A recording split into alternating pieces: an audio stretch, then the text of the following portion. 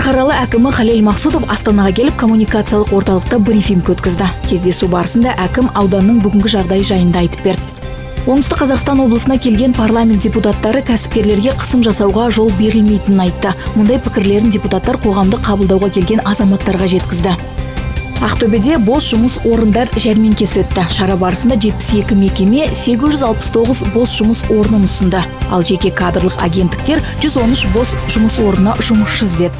Солтүстік қазақстан облысының әкімі ерік сұлтанов петропавлда әлем чемпионы атанған кәсіпқой боксшы жанат жақияновпен кездесті.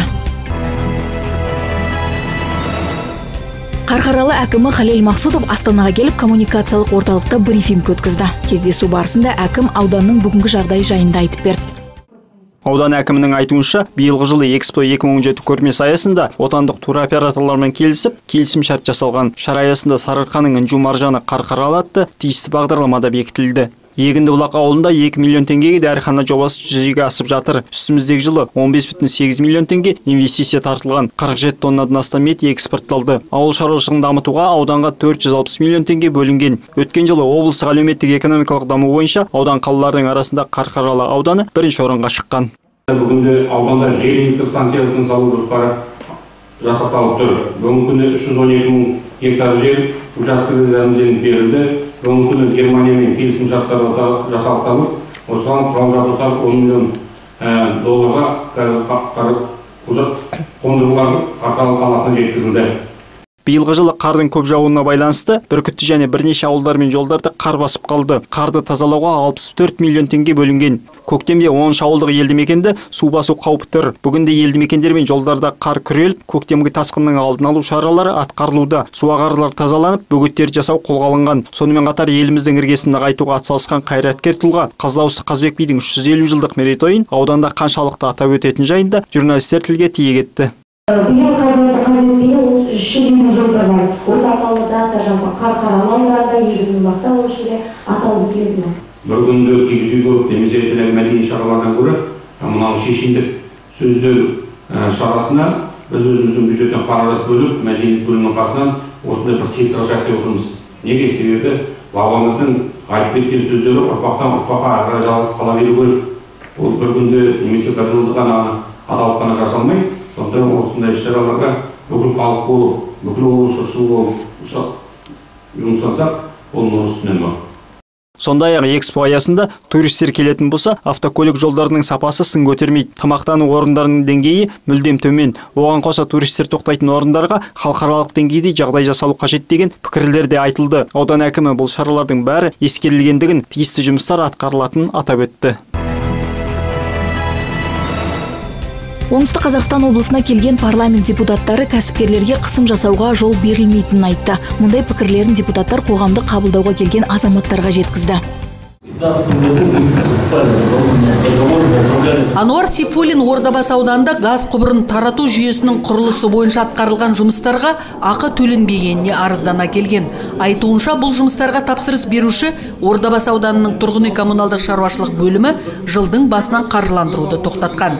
Себеп тендерді жеңіске жеткен дос ик жауапкершілігі шектеулі серіктестігі ресейлік қондырғыны тапсырыс берушімен келіспей орнатқаны болып отыр. В нашу пользу вышло два раза решение суда екі рет соттың шешімі біздің пайдамызға шешілді.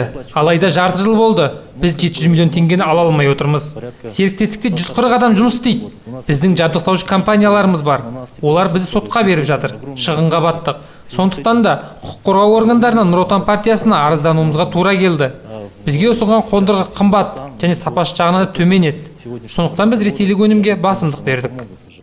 Бұл жолы қоғамдық қабылдауды жүргізген мәжілісмен меруерт айтқажақызы мәселенің мән жайын анықтау керек деп кесіп айтты. Сол үшін облыстық бас коммуналшыны да ордабасы ауданы әкімдігінен келген жауапты мамандардың да уәжін мұқият тыңдады. Быстрее получить деньги, завершить, доставить и уйти. Я это понимаю. Ордабасы ауданындағы газ тарату жүйесі аса қажет. 19 агресс темірлан елді мекенін көгілдір отынмен қамтиды. Халықтың қауіпсіздігін қамту мақсатында бүгінде талапта қатал. Кәсіпкер отандық қондырғы орнатудың орнына ресейлік өнімді келісімсіз орнатқан. Бұл дауды талқылау барысында мәжіліс мен кәсіпкерге жергілікті облыс әкімдігіне қарасты басқарма мен ордабасы ауданы әкімдігі тарапынан қысым жасалып жатқанын ашық айтты. Енді проблеманы заң шеңберінде шешу үшін атамекен кәсіпкерлер палатасын тартатынын мәлімдеді.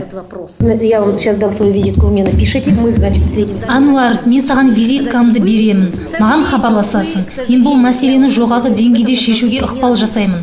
Ал сіздер облыстың жауаптылары жас кәсіпкерлер қателессе жол көрсетіп қолдау жасаудың орнына қыспаққа алып отырсыздар. Ол дұрыс емес. Елбасы кәсіпкерлікті қолдау қаржының жергілікті жерлерде тиімді жұмсалуы бойынша үнемі айтып келеді. Жолдауда да осындай мәселелер арналған. Сіздер халыққа қызмет жасайтындарыңызды ұмытпаңыздар. Жалақыларыңызды кәсіпкерлер мен халық төлеген салықтардан алып отырсыздар. Сондықтан әрбір мәселеге адами тұрғыдан қарауларыңыз керек. Заман өзгерді. Адами фактор өте маңызды. Қоғамдық қабылдауды қорытындылаған мәжілісмен осылайша бұл мәселені өз қадағалауына алатынын айтты. Заң баршаға ортақ. Сондықтан үшінші соттың шешімін күтуге тура келеді. Ақтөбеде бос жұмыс орындар жәрмеңкесі өтті. Шара барысында 72 мекеме 869 бос жұмыс орнын ұсынды.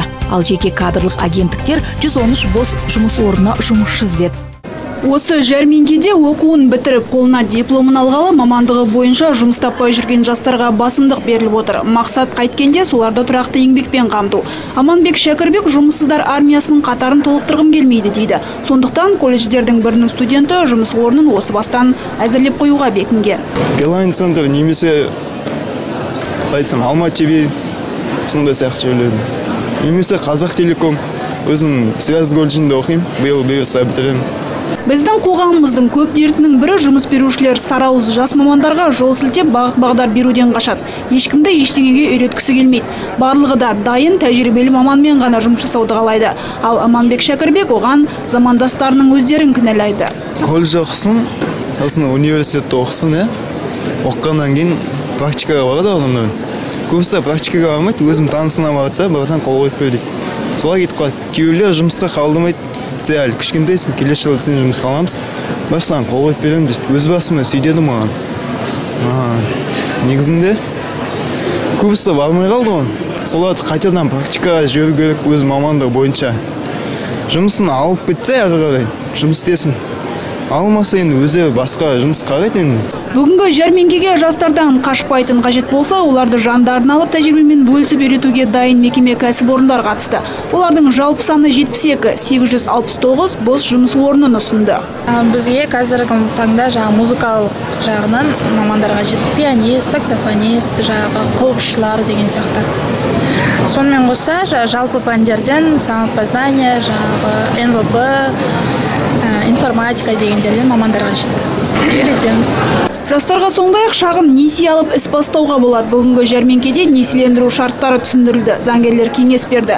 Әлеуметтік мәселелер бойынша қоғамдық қабылдау өтті. егерде осы мамандықтар бойынша жұмыс таба алмаған кезде қайта даярлау қайта оқытуға да осы жерден жазуға мүмкіндік болады бұл биыл біз 520 адамды қайта оқытып қайта даярлап жұмысқа жіберу жоспарлап отырмыз қажетті қаражаттың барлығы республикалық жергілікті бюджеттен қарастырылып жатыр сондықтан биылғы жобаның көлемі былтырға қарағанда көп деп айтуға болады Бүгінгі жәрмеңкенің қорытындысы бір апта ішінде белгілі болады. Былтыр 10 жәрмеңке өткізіліп, 680 адам жұмысқа тұрған. Биыл 11 бос жұмыс орындар жәрмеңкесі өтеді. Ал жұмыссыздар ретінде қала бойынша 898 адам есепте тұр. Солтүстік қазақстан облысының әкімі ерік сұлтанов петропавлда әлем чемпионы атанған кәсіпқой боксшы жанат жақияновпен кездесті.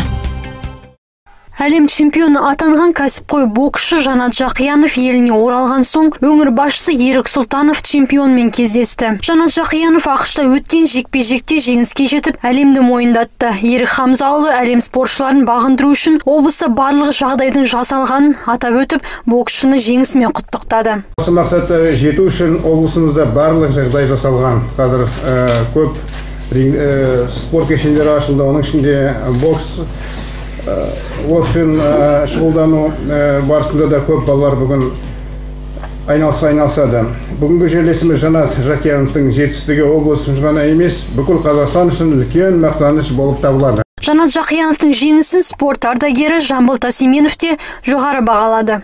жанат саған бізді үлкен кереметтей қуанттың ол қуаныш енді бәріміздің қуанышымыз сондықтан саған болашақта да үлкен жетістікке кете бер.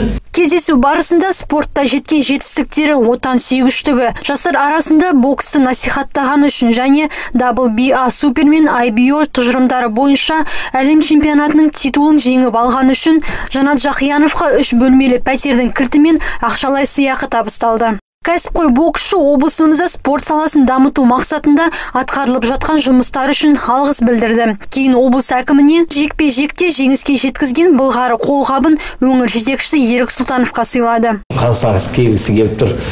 Бәрі жақсы болса астанада жекпе жек өтіп өткен болса келеді. Жанат жақиянов қазір ауқымды оқу жаттығу лагерінен кейін демалып жатқанын айтты. Ал алдағы уақытта кіммен және қашан жекпе жекке шығатыны бір жарым екі айда белгілі болады дейді әлем чемпионы.